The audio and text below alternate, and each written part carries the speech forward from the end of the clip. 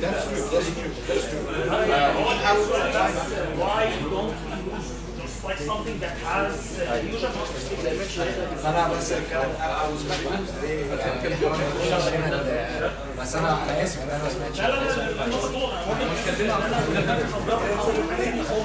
more advanced which was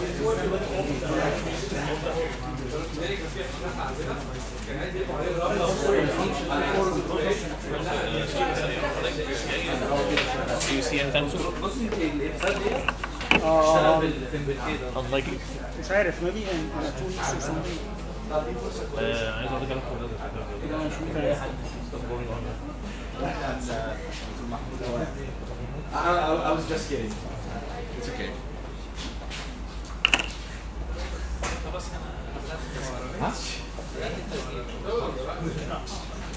طيب so um, everybody please listen up so uh, uh, the last time uh, uh, we discussed a bit about uh, this uh, we start uh, actually uh, by giving you like a very generic overview about the uh, the machine learning actually advanced machine learning algorithms that be used in high energy physics as well as how uh, can you construct a variational quantum circuit to analyze a non-separable data.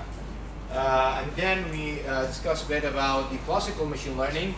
And uh, in the classical machine learning, uh, we start with these, uh, the basics, an introduction about the basics about the classical machine learning.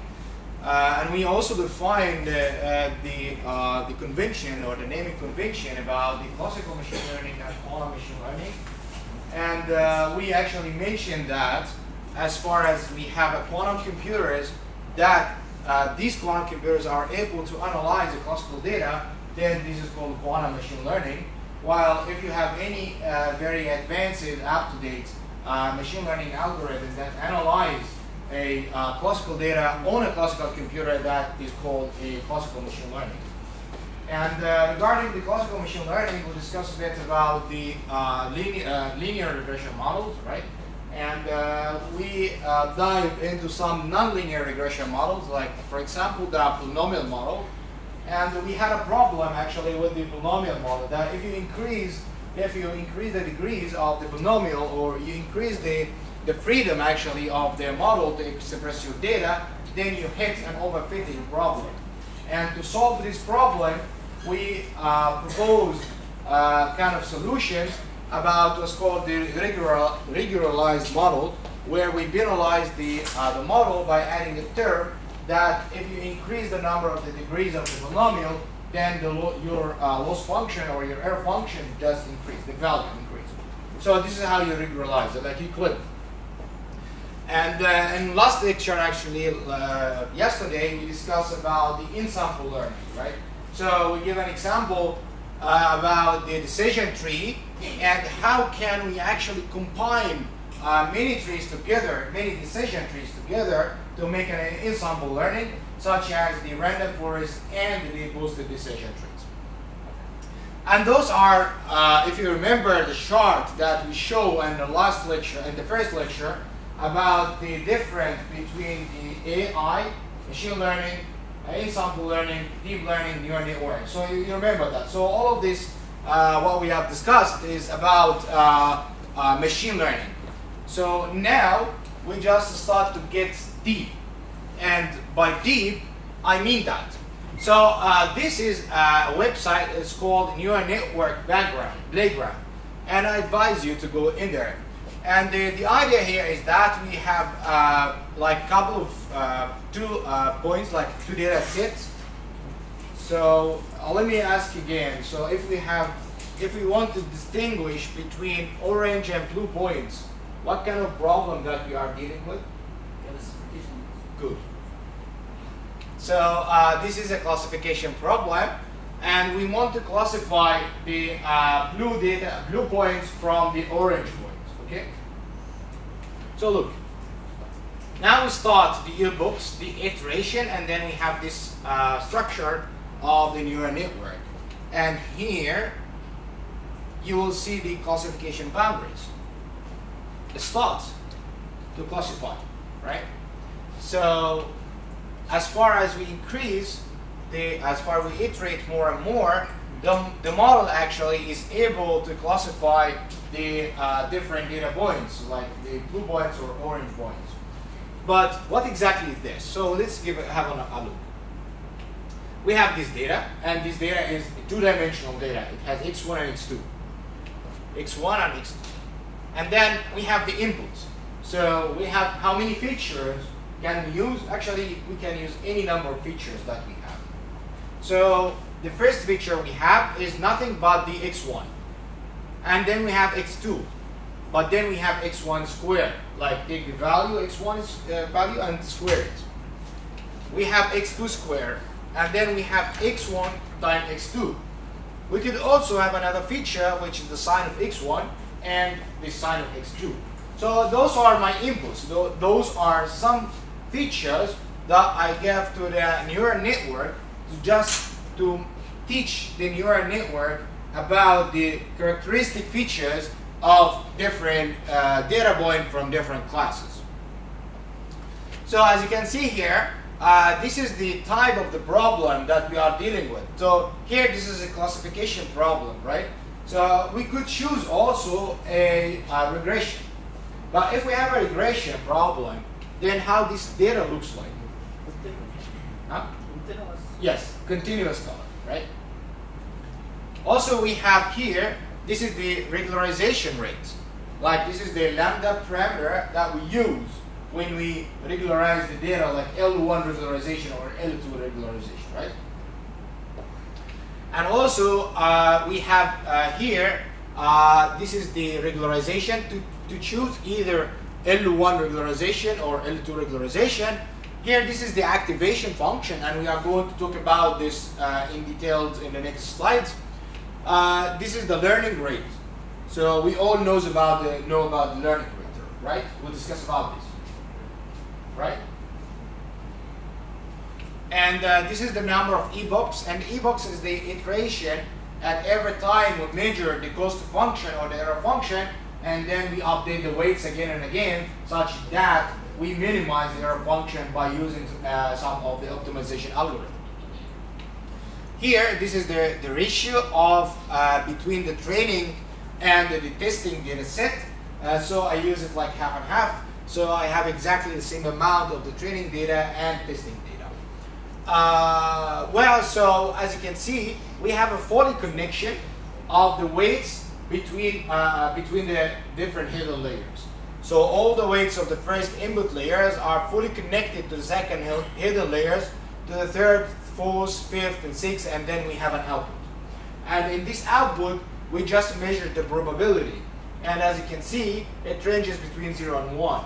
So as far as the first class has a probability uh, near to 1, that means the points in the first class is most likely classified as belongs to the blue points.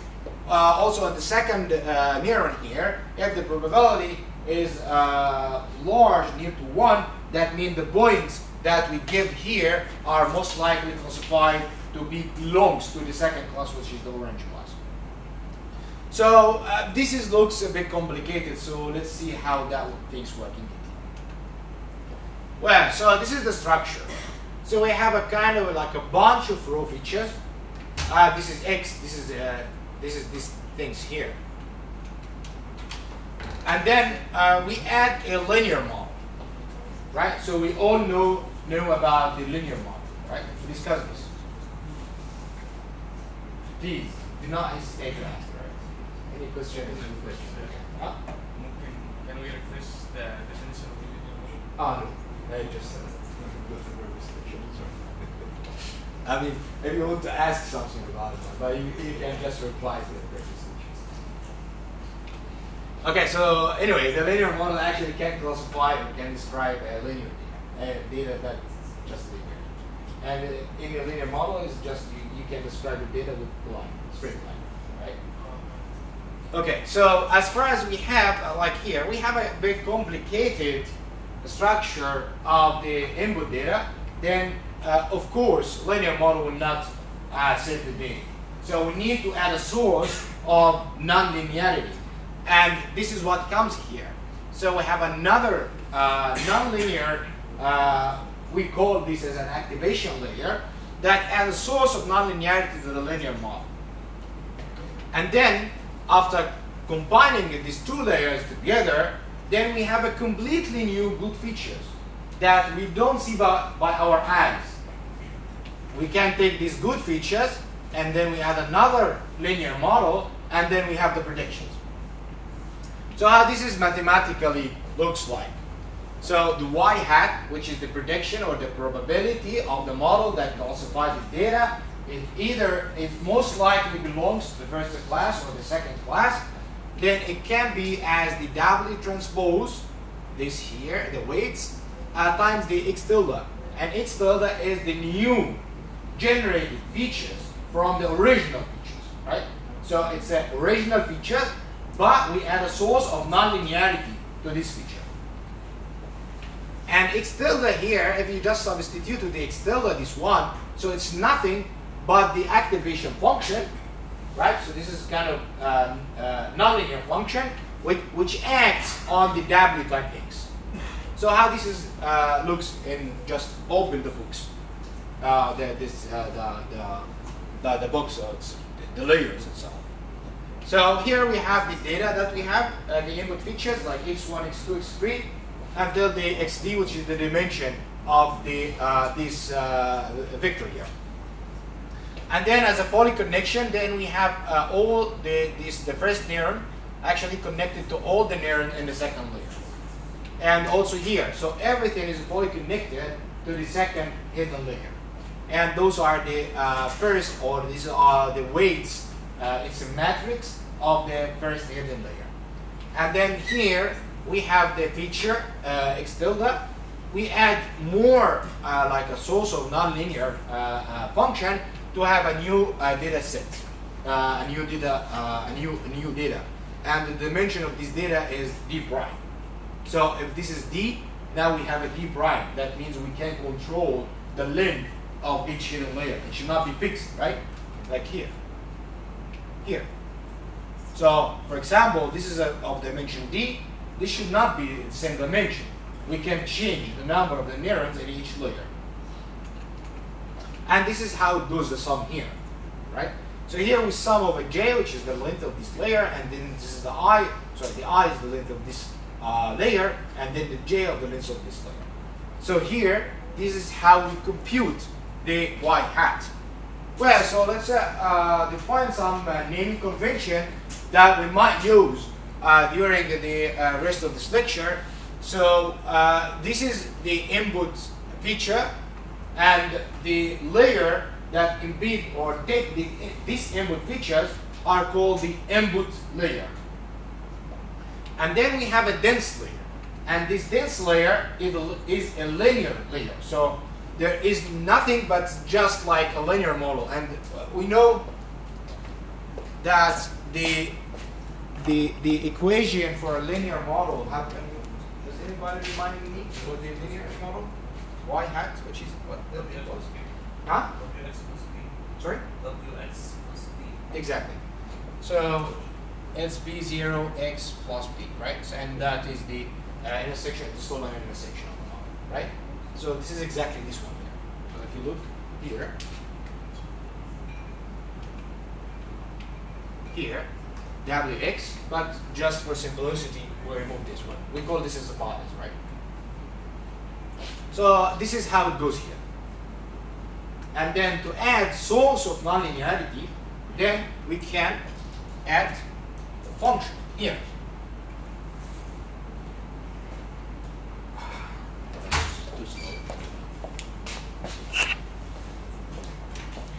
So to add the uh, or to act with the uh, activation layer, then we could add some source of nonlinearity. So now y hat is nothing but j, right? I gave you an example. I just I gave example of j. If you remember in the introduction lecture about the classical machine learning. So does anybody remember what was the nonlinear activation function? Yes? Exactly. Yeah, you are good today. so we have a bunch of uh, different activation layer that add, can add a source of nonlinearity to the model. Okay, well, so the, to define uh, the hidden layer, which is the one layer, then it decomposes two sub-layers. The first layer we call a dense layer, and then another activation layer which include the source of the nonlinearity which is required by the deep neural network model to explain and express or approximate more complicated nonlinear data, right? So uh, for uh, for a single layer, uh, like the, the, the neural network that contains only one input layer, one hidden layer, and one output layer, this is shallow uh, neural network, and we call this as an artificial neural network. Okay. But if you want to describe more uh, complicated data, like a data structure with very high complicated, like for example images, or uh, correlated data like a Facebook that, that just a, a, recommendation system. Like for example, on Facebook, uh, we have lots of. Uh, if you open this uh, the Facebook, then you find lots of advertise, uh, adver uh, advertisements that come to you, right? And you found most of them are you are happy about this, right? About these ads. So how did Facebook knows that? Because of that. So they do some recommendation systems and they analyze your data and then they find the most probable uh, ads that you mostly gonna like and they send it to you. And the data there, it's a billions of data, right? So it's data that includes all the users of the Facebook, for example, and then they, they try to collect information about what's your age, what's your uh, location, uh, your favorites, The last thing you did research on? Sorry? The last thing you, you research. Ah, this is also yeah. This is also yeah. This is also can be used as, as, as a good feature, and then you combine all of this, and they try to cook a machine learning model to analyze and uh, find the highest probabilistic ads that you maybe like. So to do so, of course, one hidden layer is not enough to uh, uh, to analyze the structure of the data, very very large data. So we had to add more and more layers. And the, uh, the, the, neural network actually with more hidden layers is called multi-layer neural network or multi-layer perceptrons. Well, so uh, now we uh, just fix it, the conventions of uh, naming convention of the neural network and deep learning. And now let's see how can we train the neural network model. So to train the model, actually, uh, there are two processes here that we have to go uh, through. The first one, which is called the forward propagation. And then we have the new concept, which is called back propagation. So as we, all the models actually that we discussed, like all the machine learning models, even the boosted decision tree and random forest, we don't have this, right? Right? We don't have this, the back propagation. So as far as you have a back propagation, this is a neural network. So how this works? So first we have all the inputs, all the data, and then uh, we add the weights like a fully connected for the uh, first hidden layer, and then we have the bias. We add, we we pass this to some uh, nonlinear activation function, and then we measure the y hat. From the y hat, this is supervised learning, right? So we know what is the true value. So from the y hat, we can compute the loss function. But then we need to update the loss, the weights, or the free parameter again, such that we hit the global minimum, minimum of the loss function. So how we did that before? Anyone can answer? Yes? Uh, gradient descent. Exactly? And then we updated the Yes. W and B Yes, exactly. iteration until we minimize Yes. it and Yes, so if you remember in the, uh, in the linear model, uh, when we have this, uh, uh, this animation that I show, that when we have this uh, kind of uh, linear data, uh, like if you remember this kind of uh, data that's kind of uh, like this, and then we found a line here that can fit the data, right? And the, the, the, equation of the line is basically this one. So we have uh, P0x uh, plus uh, P1, for example. And uh, we try to find always the best value of P0 and P1 that minimize the error, right? And make that make that makes the line best fit the, the data points. Remember that, right? And from this we compute the error here all the time. Exactly the same here, but in a different technique. I'm, I'm going to discuss this. Well, so uh, every time we do uh, first a forward, forward propagation, so we forward all the, uh, the data, the inputs and the weights and compute everything to compute the y hat. And then we do back propagation by updating the free parameters or the weights of each layer. And this closed loop is called epoch. So the epoch is one iteration, one closed iteration. Well, so uh, this is how we compute actually the output or the activation or the output of the uh, one neuron uh, after the activation function. So, uh, of course, we need to add a source of nonlinearity, otherwise we are doing nothing, right? So we could actually, we can construct a neural network that can solve a linear problem, right? We can do that. We just remove the activation function, the source is of nonlinearity, just remove it. And then you, you end up with a linear model at the end. So to explain uh, and describe uh, more complicated structure like nonlinear separable data, we need to add the activation function here. And this is the equation that I wrote here, how this is the output after the, uh, for each neuron after you add the activation function. And now the question is, what kind of activation function do we have to use? Well, so the computer scientists are very nice, fancy guys, and they offer lots of activation functions. So you can you have the freedom to choose whatever you want. So some examples.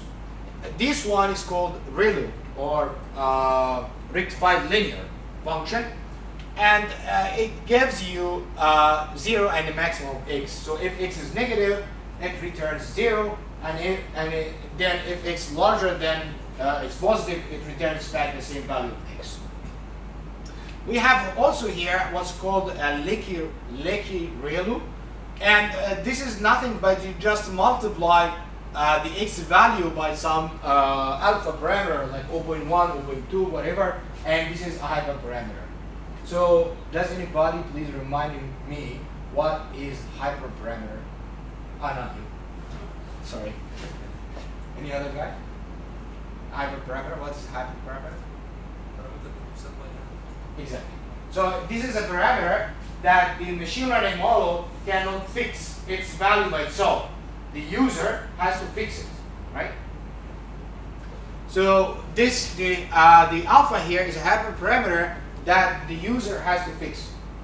Uh, here this is tanh uh, activation function. This is a step function. This is a linear function. This is a ReLU. Uh, this is uh, what's called ELU. Uh, and uh, this is a like instead of having a zero, then we could have a regular, regularized value. Like instead of like instead of having this, uh, this is the ReLU function, which is zero and x everywhere. No, we have like a regularized one. So we have this, and this is alpha, and you can find define this alpha as 0.1, 0.2, whatever you want. And now the question is, Okay, fine. So we have a penality, uh, uh, penalty of uh, activation function. Um, which one uh, we have to use, right? So the actually the model, uh, like the machine learning model, is very very. Oh, sorry. Okay. So you see here, the machine learning model is uh, the neural net, the deep neural network model is very very rich, and at each of those hidden layers, we have to choose activation function, right? So how can we define those? That's a question. So how can we define the activation here at each layer? Which one what shall we use? Here. So do you have any guess with that? Type of data. No. All of them will work. No. Okay, by experience. So uh, you, you do more, right? And then you can find the best one that fits. But not only this, but also uh, we have some problems, like all in the hidden layers, in the hidden layers, in the layer in between, we always use the ReLU, right? So by experience, we use the ReLU, and I'm going to show you uh, why we use the ReLU. Like uh, the ReLU is the common uh, activation function that's been used in the hidden layers in a moment.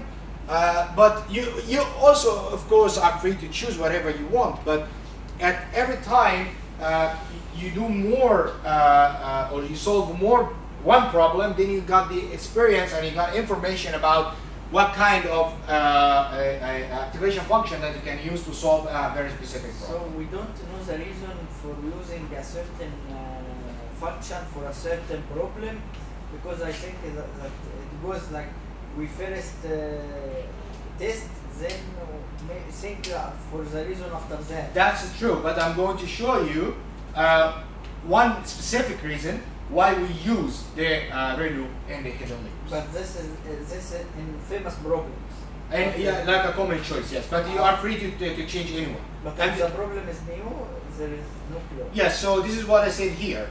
If you don't know, like if you this is your uh, first time doing machine learning, then you should have do some uh, random grid search. And random grid search is that we have all the hidden layers, right? So this is the first hidden layer, second, third, right?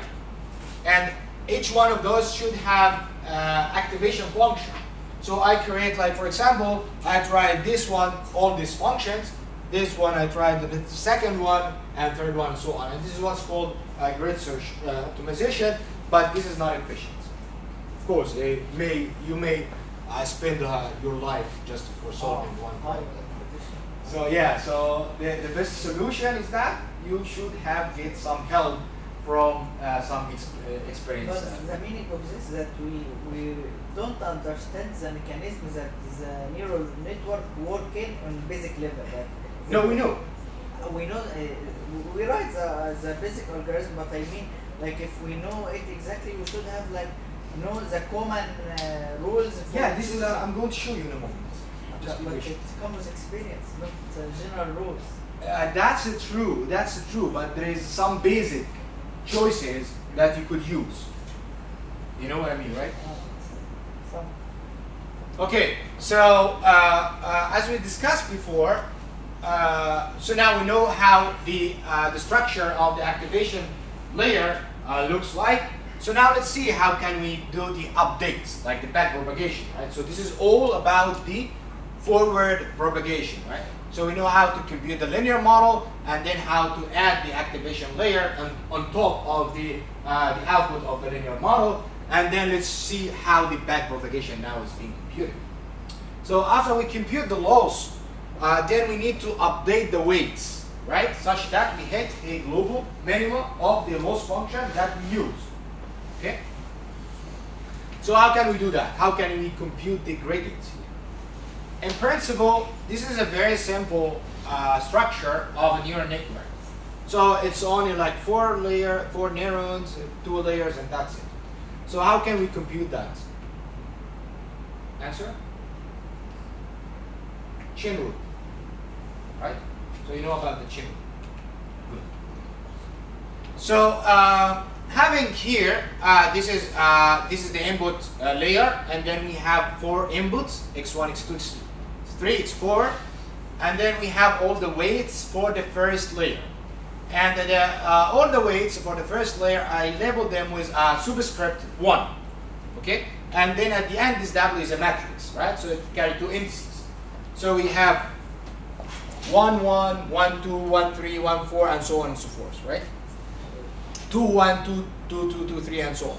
So those two uh, indices just uh, indicate the number of neurons and which neurons they are connected, while the superscript over here just indicate that we are in the first hidden layer, this is in the second hidden layer, this is in the third hidden layer. So it's, it's kind of matrix.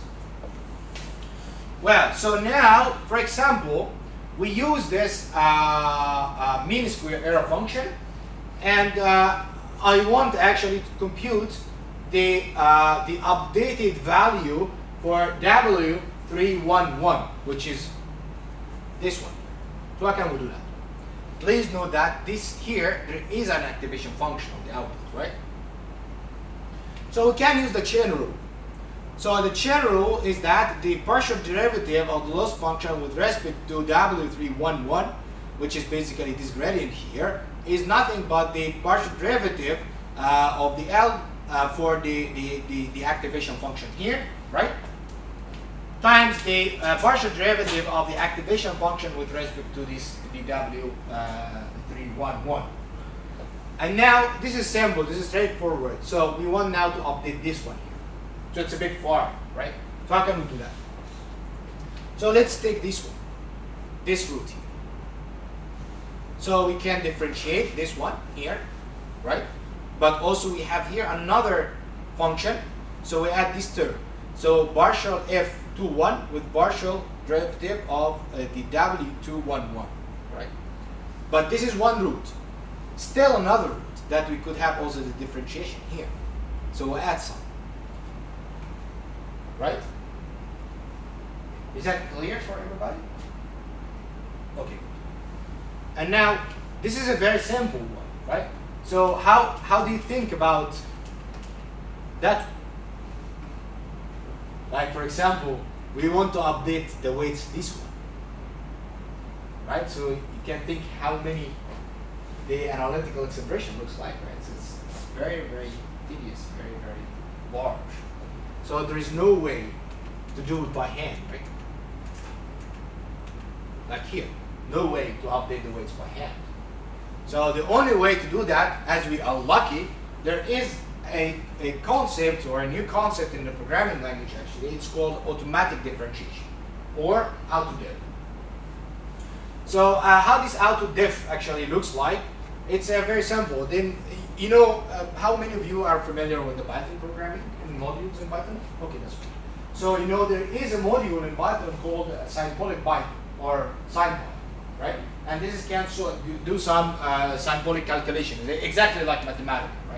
But also we have the NumPy, and this NumPy is the numerical, uh, the numerical module or the numerical library that can solve lots of um, high dimension, very complicated uh, tensors in numbers for you. So combining these two together, like we uh, solve the first, we compute the differentiation symbolically, and then on fly, we substitute the numerical value that saves the day. And this is what's called the automatic. So uh, to do so, then there is, as I told you in the first lecture, there are two wings that you can do the uh, machine learning uh, you can do some machine learning uh, algorithm uh, on those two wings, which are the TensorFlow, and this one is powered by Google, and the PyTorch, then this one is powered or by by Facebook, right?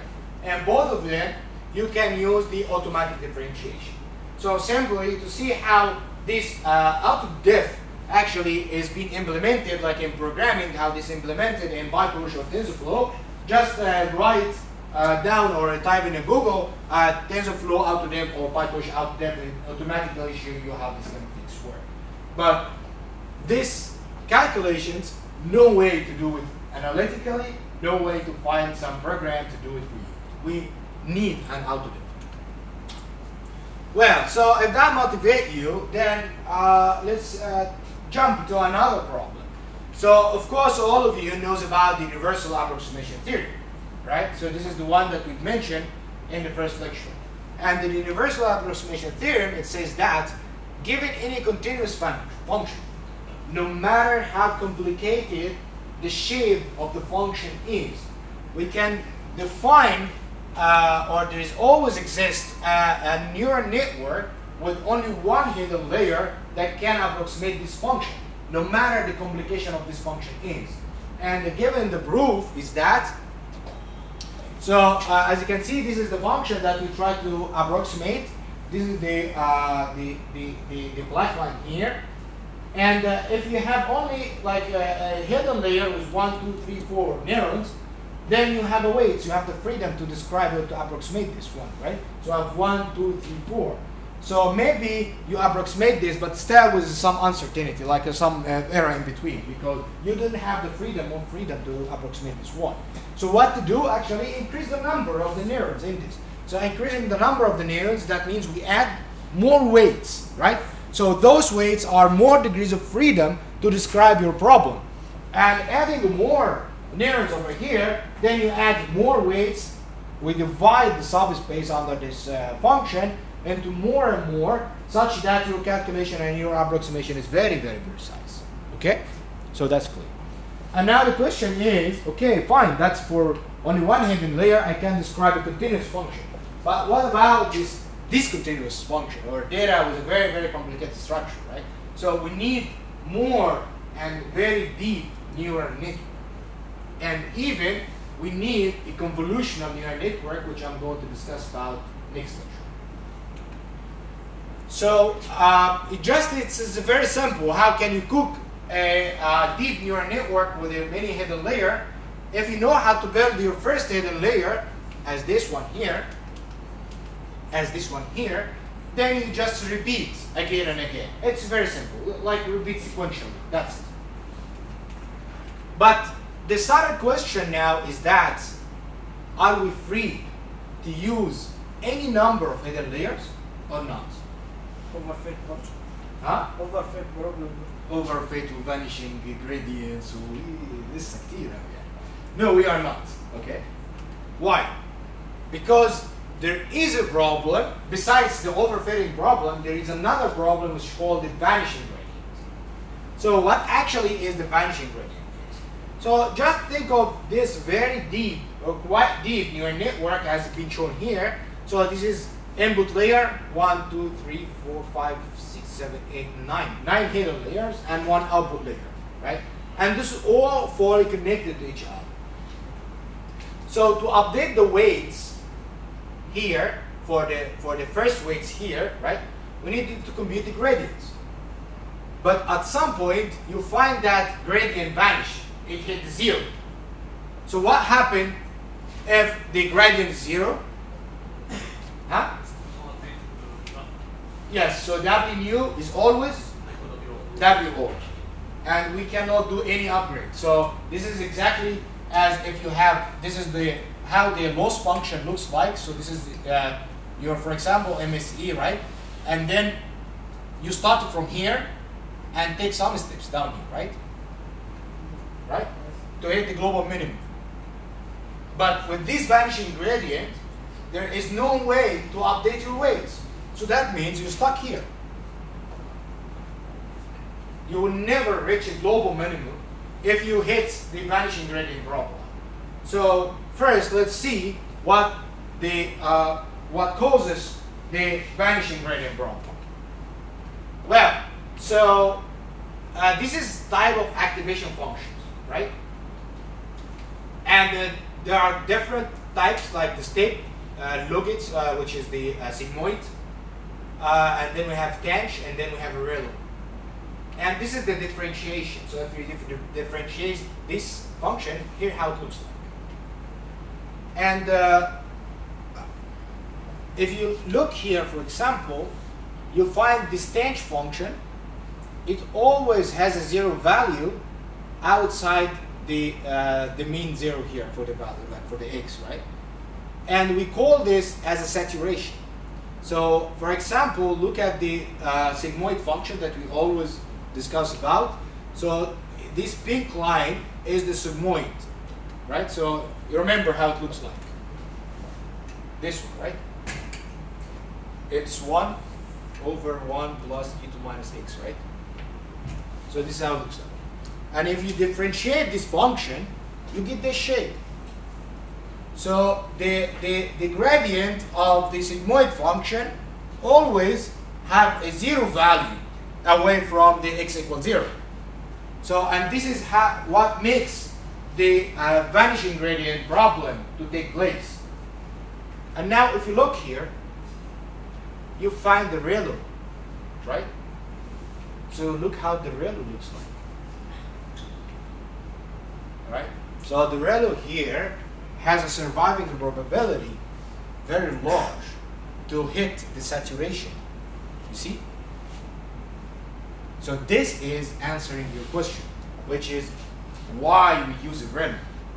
Because it's mostly hard to have this vanishing gradient problem. So this is kind of a mathematical reason why conventionally or commonly we use the ReLU activation function inside the hidden layers just to avoid the problem with the vanishing gradient. Okay? Well, so uh, how now we need some solutions for that.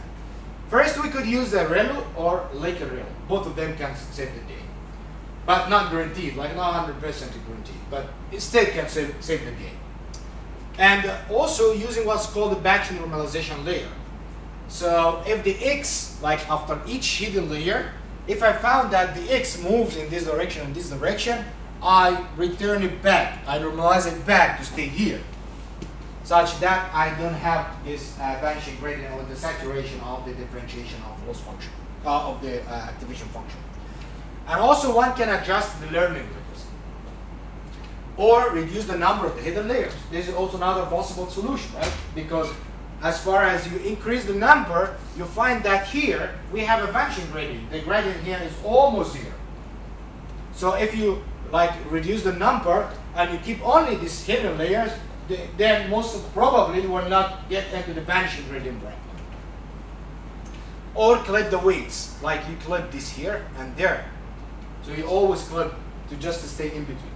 But those are not efficient solutions. And at the end, most of the solutions in uh, machine learning, in classical machine learning, or even in quantum machine learning, is that depends on the some grid search optimization. So you do one step, you do one uh, action, and then you measure the output performance of your model, and then according to that action, either you accept or reject. You know. Well, so that was about the uh, vanishing gradient problems and the, the depth actually of the uh, machine learning model and the neural network model, but still also another problem, which is the convergence. So in, in a very simple data like this, you could have a loss function, continuous loss function, which has a very nice global minimum. But in the real world, or in, in real, real life, this is not the case, actually. We have a very rough surface of the, uh, of the loss function, which exhibits lots of local minimum. And that's dangerous, because at some point, we may hit this one, but we don't need that, right? So actually, what is the solution to uh, like be sure or increase your probability to stay in a global minimum and stay minimum instead of uh, stuck in one of the local minimum. Of course, you know at the beginning when you initialize the weights for the first iteration, like here, let me back again, sorry. Here, so how we first for the first iteration, how we initialize or how we fix the weights, the value of these weights. Yes? Exactly. So we assign a random numbers to those weights at the first iteration. Right? But this is dangerous because if you assign this random, maybe you start here, maybe you start here, maybe you start there. So we don't know the random initialization of your weights where actually your uh, uh, uh, uh, loss function or your starting point is. So as you can see, for example, if you stay here or start here, then most probably you can hit this global minimum. But if you're here, then maybe you're stuck in some of the local minimum. So that's problematic. So how to solve this? So instead of uh, training or do the iteration or update the weights for each and every data point in your sample, then we could have what's called the uh, uh, batch uh, or stochastic uh, descent. So how can we do that? This is called stochastic gradient descent. And instead of taking each point in the data, no, we randomly take a sub subsample of the data and then we update the, the, the, the weights at each sample of this data. So the, the weights are updated frequently. And uh, have you ever heard of this stochastic? What stochastic means? Intuition? Exactly. And this is and this is how it looks here. So if we do uh, like a gradient descent, where we have each point, we update the weights for each and every point. Uh, Here's what I found. then you are smoothly hit the global minimum. But if we do some uh, gradient, uh, like a stochastic gradient descent, then we have this zigzag uh, kind of. But there are two advantage actually in the, sorry, one advantage and one disadvantage. The advantage here is that if we have uh, this uh, fluctuation, then maybe it's enough to skip the global, the local minimum and hit a, a global minimum, right? So like here, maybe if you have this zigzag, then it maybe hit here immediately and skip the local minimum. But also, if this uh, kind of stochastic behavior is very, very large, then there is also a, a probability to miss the global minimum itself. So how to solve that? Then solve that, we need to add a momentum. So if you heard about this momentum uh, concept, it's nothing but it's exponential weighted moving average behavior. So how can we do that? No, no, no. No. So it basically, you have a bunch of data, then you can smooth that, right? So it's a kind it's kind of a smoothing here. It's kind of a smoothing your data to some line or something like that. Yes, please. This. Ah, it's nothing. You just randomly sample from data, and then instead of updating the weights for each weights, like x1, x2, x3, x4, and each input, then you just take a subsample of that, and then you update the weights accordingly. So as far as you take subsample of the whole space or the whole regulation, then you don't have a full vision or full information about the characteristic, characteristic feature of the Sorry? Of course, yes. Here, all of this is training. On the test, we don't touch anything. You just get the data to the model after you train, and then you ask for the predictions. That's it. Okay? Good. So how we smooth that one? How we smooth the uh, stochastic behavior of this the data? We use the exponential weighted moving average. And to do the exponential weighted moving average, we compute this, how we compute that one. So first we start with the VT, uh, some variable, which is basically this line here, this line here, and then this VT, it's weighted. So we should have some weight parameter, beta. And this beta is just multiplied by VT minus 1. And then plus 1 minus beta f of t. f of t is this value. So VT minus 1, you can compute it here. And this is, it always depends on the previous step. And this is why we call it moving. And the question now is why we call this exponential moving average? Hmm? What I what I understand is that we're trying to make uh, to don't make it very random, like the gradient Yes, yes, the yes. steps. Yes, the- that's true. To make it small. Yes, that's true. This is what we want to do here. But exponential because if you substitute back, back, back, back to this one, we will find an exponential series. So this is why we call it exponential weighted moving average. Okay? And of course the beta parameter is ranging between 0 and 1. Depends on the beta. Okay, so this plot here and all of these plots, you find the codes for this on the GitHub. So you can access this one. I I think I call this uh, like a stochastic gradient descent or uh, weighted moving average, something like that. So you can find these plots and the outputs here. So according to the value, depends on the value of the beta here, then you can find how the data has been smoothed. So consider now the data points, which has uh, uh, exhibit random uh, behavior, and the data is these black bullets. And then if we use a beta of uh, value 0.2, then you have this blue line. So this blue line is still uh, shows some stochastic uh, behavior. It's fluctuate much. And now just increase the value of the beta parameter to 0.5, then you start 0.9, then you have a quite smooth one here, right? And if you increase to 0.8, 9, you have a completely flat one. Too much. Exactly. The problem here is that if you increase the beta more, then this is might flatten uh, or uh, at zero. So we don't need this one as well, right? And in machine learning algorithm, we usually use that momentum uh, parameter or beta parameter at 0.9. So I can use the uh, stochastic gradient descent with the momentum in, in, in uh, machine learning. Uh, we update the weights. Now the W new equals W old minus eta, the learning rate, times the VT. And the VT is now the uh, smooth uh, data point. Okay? So now we have, if this is the stochastic gradient descent looks like, it's show random uh, stochastic behavior, then the, uh, the stochastic gradient descent with the momentum show a less, uh, a less, uh, more uh, stochastic or random uh, behavior to hit the minimum.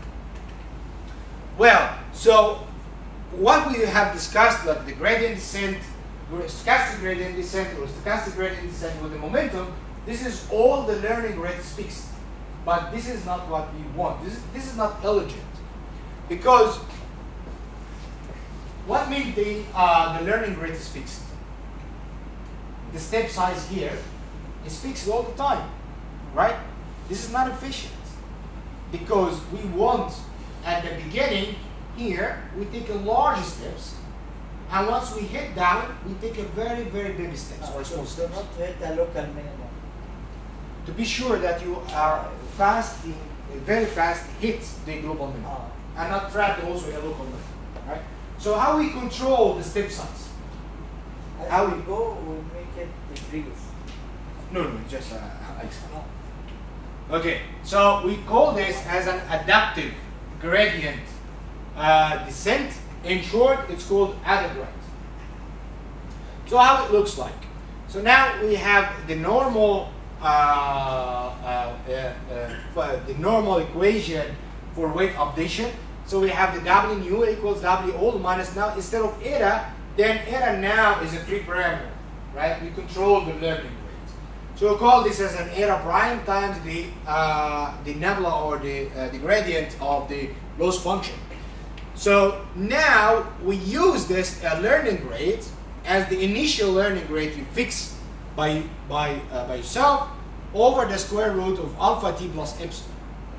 And alpha t now is the sum over all the previous gradient descent or all the previous uh, gradients, right? So that means that as far as I give in the steps, I'm pretty sure that the learning rate is going to decrease, right? Because this one is always increasing. Because we sum all the previous gradients. So this one is always increasing. And we have the epsilon here because this is a regularization parameter. Because at some point, if this one vanish, this will be divergent. So we have to use this epsilon term. But the problem is, if you have more and more steps, then you find that you start with a large one, and then small, small, small, small. As far as you do more uh, steps and more iteration, you find that the steps are going to be very, very small. And at some point, maybe you lose it. It's goes to zero, right? If that one is very, very large, then the alpha is very large, then this one might be very small, like uh, almost zero, something like that. But anyway, this is what we have here. So we have like a very large steps, and then toward the minima, as far as we go to the minima, this is uh, it's being small. So how can we solve that one? So how will we solve this problem? Yes, please. Two questions. Uh, first one, why should the summation uh, vanish? It's, it's square. So I actually have like past terms that are non I didn't say uh, it should have vanished, but we have the vanishing gradient problem, right? So if you have this problem, then this term diverges. So we have this epsilon. But always, all the time, this gradient, sum of the gradients is increasing. Yes, second question? Uh, we can use this with uh, gradient descent as well. Yes. Another question. Yes? Uh, epsilon is a hyperparameter. Epsilon. Yeah, it's a very small number. It's just to regularize. It's just to prevent this. So if you have a vanishing gradient problem here, then this one is just to regularize. I can't calculate it. Huh?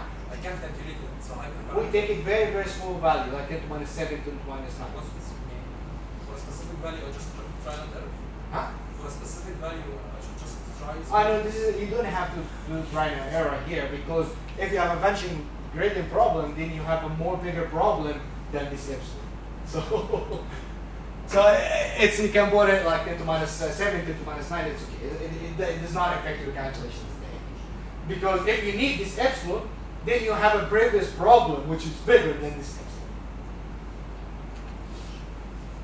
Okay, well, so this is how it's called the root mean square propagation, and uh, in short, it's called RMS prop. And this is a very advanced uh, uh, optimization techniques more than the uh, gradient descent. So what we do here, we do uh, this momentum on the, the stochastic steps, but here we remove the sum. Okay, so we just remove the sum. So if you look here, we have the sum. So that means this sum is always increasing. But here, as far as we remove the sum, then the eta uh, prime or the new learning rate now depends only on the previous step, not on the old steps that we have, right? So it's not depends on all of this. Just compute the uh, the sum uh, or the uh, gradient or the sorry the differentiation of the previous step. And this is what, how we guarantee that we have a smooth, very very smooth transition to the global minima with, without having these uh, vanishing steps if we have uh, like in the Adagrad or the adaptive learning or even this is stochastic things. So we have a very smooth transition towards the global minimum. and faster. That's good. I will show you. I'll prove that. Just keep this in mind. And last one is called adaptive moment, moment estimation. In short, it's called Adam optimization. And this is the standard. So the whole community use this Adam optimization. And Adam optimization, it combines all the advantage that we have discussed. From the gradient descent to the stochastic gradient descent, to stochastic gradient descent to the momentum, uh, RMS prop in one optimizer, and this is how Adam optimizer looks. And if you look here, we have an analysis of the MNIST data set. You don't know what's this MNIST digit data set. Does anybody know about that? distribution. I don't know. I'll show you. Huh? What's the name? MNIST. MNIST di- digit data set or fashion unit. Uh, I will show you. I will have an example of that. Handwritten, handwritten digit. That's true. So I have uh, this uh, here, this uh, in this paper. Uh, so we have the Adagrad, the RMS prop, uh, SGD with the momentum, stochastic gradient descent with the momentum, ADA, delta, and Adam. And as far as you can see, Adam optimizer gave the best solution and the best optimization algorithm, even for a very complicated uh, uh, uh, uh, problem here. Huh? Yes, this is is. Well, so uh, this is here. This is a comparison. Very. This we have two minimum. One global minimum and another local minimum. And then we have the gradient descent. Gradient de- descent with the momentum. This is the pink line. We have adaptive grade, which is the uh, uh, white line, and we have the RMS prop, and we have the Adam. And now looks how it looks like. You see? Only Adam optimizer that succeed to hit the global minimum. All the rest, here how you see, this is the global minima, this is the local. Okay? So as you can see, only the Adam optimizer succeed to hit the global minimum.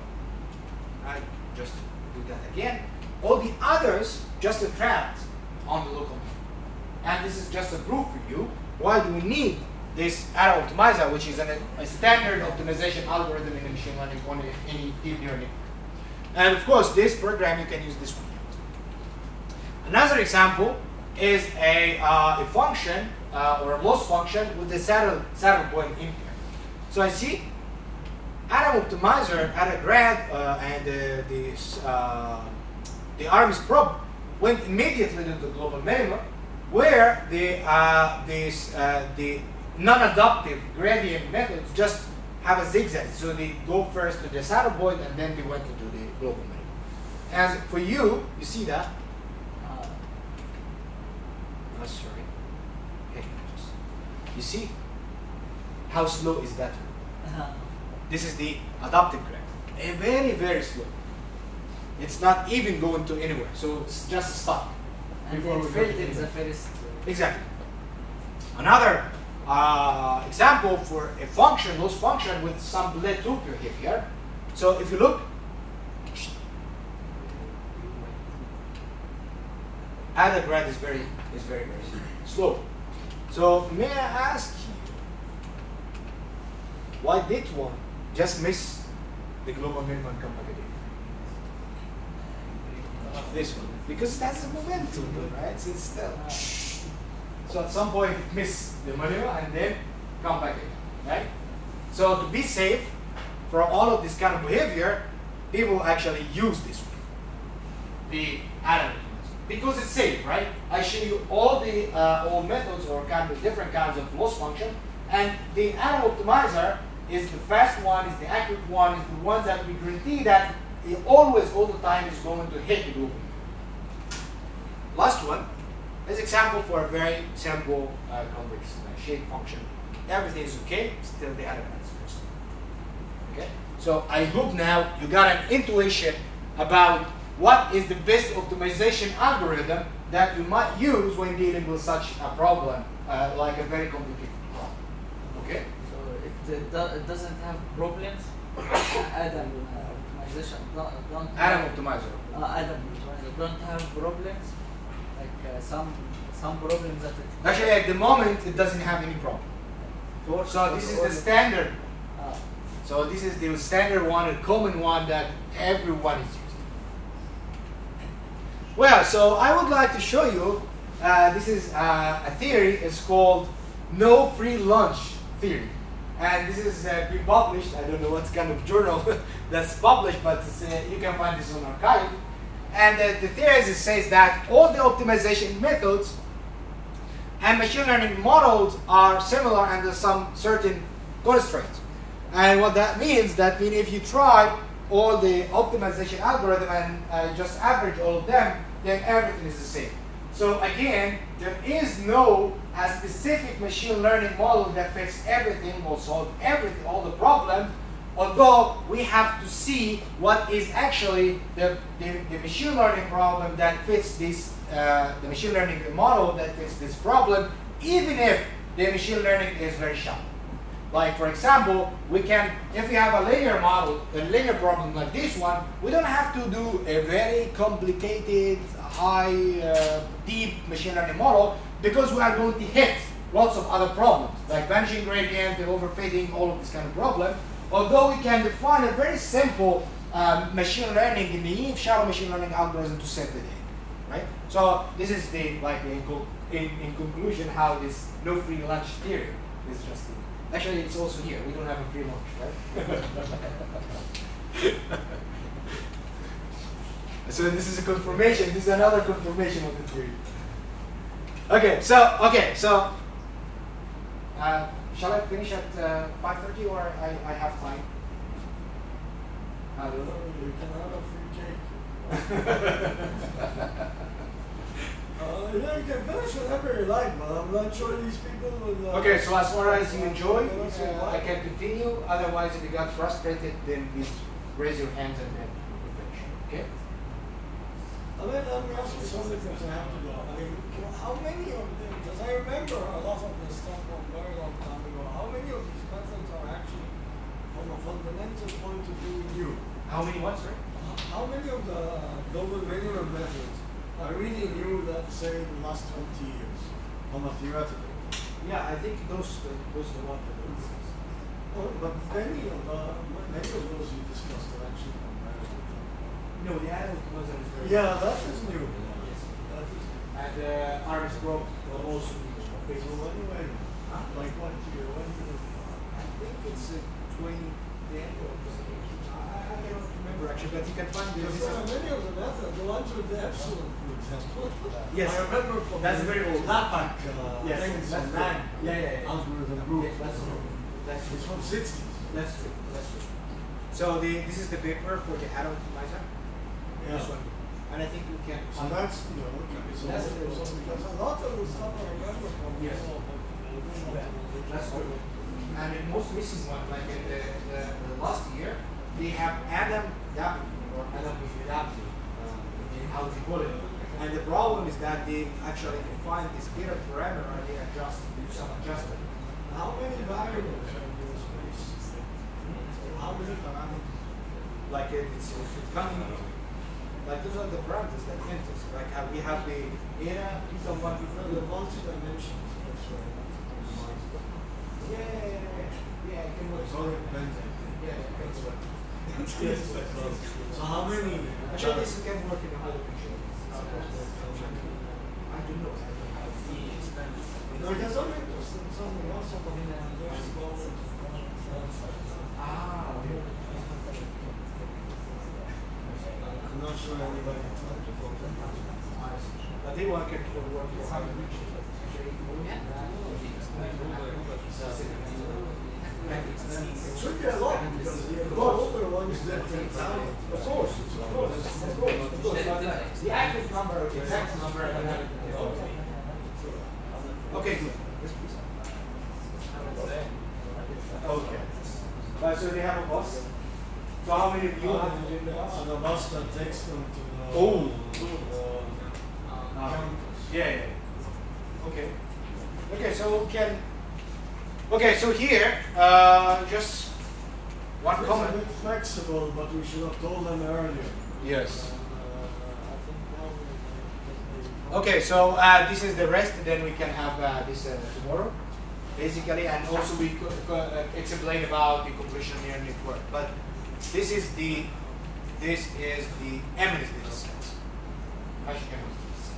And It's images, and then we- I'll show you how how can you deal with that.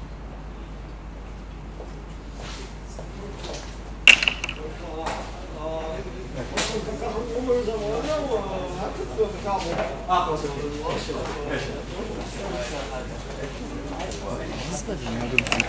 تعالى بس هنا عشان محتاج اقفل اه لو اتحرك نزيد